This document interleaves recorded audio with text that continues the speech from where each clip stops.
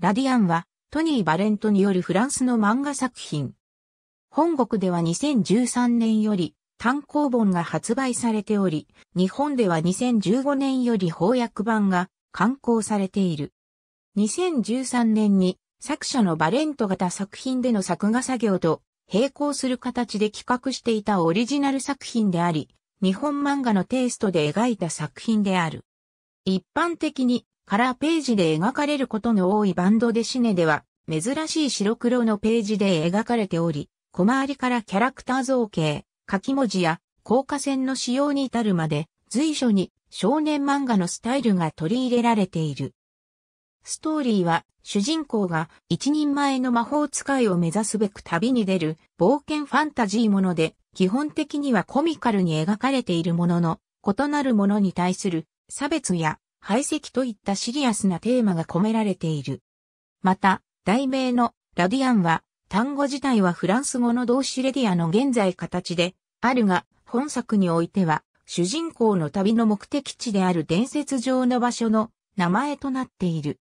日本では2015年にユーロ漫画合同会社及びアスカ新社より翻訳版が刊行され、第1巻及び第2巻の刊行時には漫画家の村田祐介や真島博が帯に推薦コメントを寄せている。また、2018年からはテレビアニメが放送されている。作者のバレントはもともと日本風の漫画を描くことを目標としていたが、それだけでは飽き足らなくなり、少年漫画のフォーマットを用いて深いテーマを描いてみたいと思ったのが、本作を誕生させるきっかけとなった。本作のテーマの一つである排斥は、バレントが過去に単独で発表した作品、アナ・アトリから引き継いだものであり、バレントは、ストーリーの開発にあたり、中世に行われた魔女狩り関連の資料や小説、RPG などから着想を得ているほか、キャラクターの一部は歴史上の人物をモデルにしている。また、描き始めた当初バレントは原稿を見た友人から、フェアリーテールに似ていると言われたことがあり、同作を読んで似ていると思った要素をストーリーから省いたことを明かしている。本作の舞台はファレノスと呼ばれる空中にいくつもの大陸や島がある世界である。大陸や島の多くは雲海に囲まれており、島々の行き来には飛行船が用いられているが、多くの人々は大抵一つの島に泊まって生活している。この世界にはネメシスという怪物が存在しており、どこからともなく現れては、村や町を襲っている。このネメシスに唯一対抗できるのは魔法使いであり、彼らは魔法を駆使して、それらを駆除する役目を負っているが、同時に人々からはネメシス同様に恐れられ、忌み嫌われている。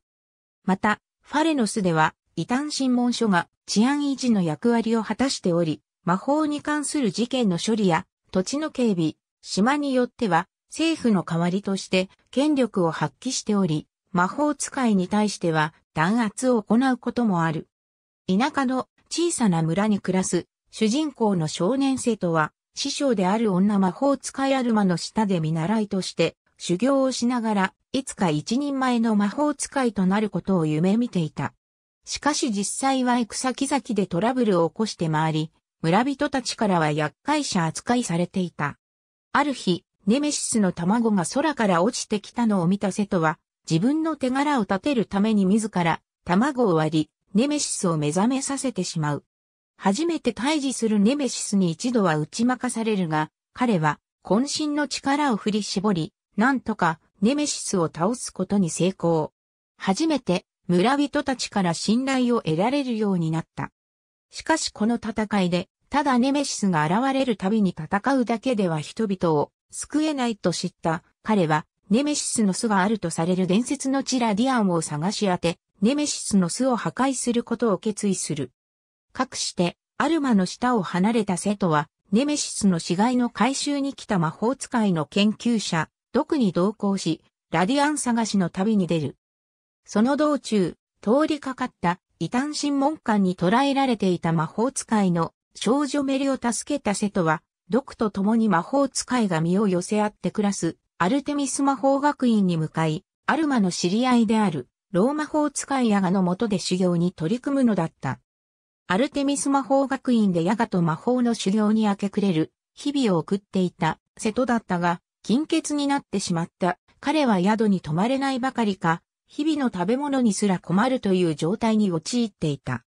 それだけでなく、学院からの莫大な借金を抱える羽目になった瀬戸は、ネメシスの生け捕りによる賞金を手に入れるべく、メリト・ドクの二人と共にネメシス狩りの依頼があった工場都市、ランブルタウンに向かう。そこで彼らは、この町の行政を司る、異端審問官による移民排斥計画、さらにはネメシスを操る女魔法使いハーメリーヌによる町の壊滅計画に巻き込まれてしまう。彼女はかつてランブルタウンで起きた崩落事故の生き残りであると同時に町の住民から迫害されていた魔法使いの一人でもあった。瀬戸たちはハーメリーヌを追っていた謎の魔法使いグリムと協力して住民への復讐を目論む彼女の計画を止めるべく奮闘する。ランブルタウンでの戦いの後、魔法使い騎士団がラディアンを探しているという話を聞いた瀬戸は、ラディアンに関する手がかりを求めて、騎士団の居城をカスラーン・マーリンがあるシファンディール大陸へと向かう。その道中、同じようにシファンディール大陸に立ち寄っていた商人男爵たちと遭遇したセトはスパイと勘違いされ攻撃されるも真一発のところでグリムに助けられる。グリムと別れ、カスラーン・マーリンにたどり着いたセトは城下町で出会った不思議な老人ミルの手助けにより城に潜り込み、そこで出会った騎士志願者の少女、オコホと共にスペクトルネメシスという新種のネメシスを相手にした戦闘に参加する。その後別件でカスラーン・マーリンを訪れていたメディ、ドクと再会したセトは、自らも森の妖精だと明かしたミルから魔法を生み出す源であるファンタジアについて教わり、理解を深めると同時に自分を制御する術を学んでいく。